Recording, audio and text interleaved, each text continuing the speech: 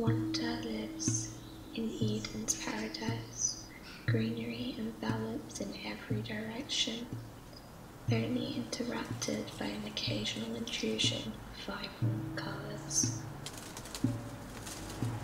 The happy songbird singing his song, the gentle hum of a bumblebee, the laughter of a small child playing under the sun. There was not a cloud in the sky, nor care in the world.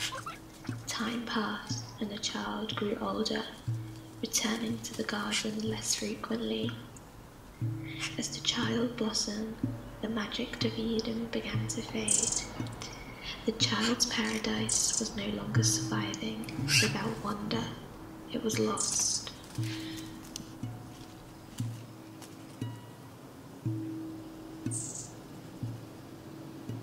Yet the lie still remains in the garden. It's different, but it remains. Weeds intertwine with the plants of the past. The songbird singing a much sadder song, laced with hope for the small child to return.